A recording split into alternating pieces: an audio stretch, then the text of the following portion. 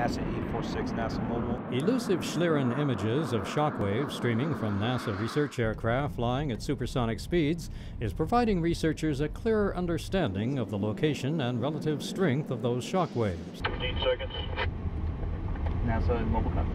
The images were gathered by twin telescopes and digital cameras at NASA's Dryden Flight Research Center during tests of a ground to air Schlieren photography system developed under a NASA Small Business Innovation Research Project.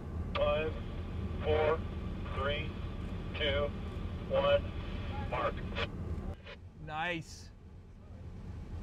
When you have a glass of water with a straw in the water, you'll see the straw appear to be at one position below the water and a slightly offset position above the water. That's because of the density change. The same thing happens with the shock waves.